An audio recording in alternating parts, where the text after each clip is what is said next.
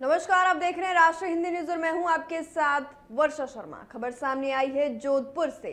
जोधपुर जिला कलेक्टर इंद्रजीत सिंह की अध्यक्षता में डीआरडीओ हॉल में राजस्व अधिकारियों की बैठक आयोजित की गई, जिसमें राजस्व के विभिन्न प्रकरणों पर समीक्षा की गई। साथ ही ज़िले के अधिकारियों को जिला कलेक्टर ने निर्देश दिए कि राजस्थान संपर्क पोर्टल पर दर्ज प्रकरण का निपटारा जल्द से जल्द पूरा कर रिपोर्ट करें। साथ ही अधिकारियों को निर्देश दिए और मुख्यमंत्री की बजट घोषणा के अनुसार कार्य की प्रगति हो, इसीलिए उसकी रिपोर्ट भी मांगी गई।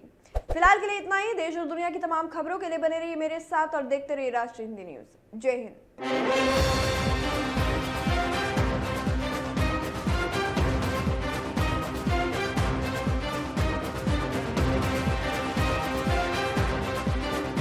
आप देख रहे हैं राष्ट्रीय हिंदी न्यूज़।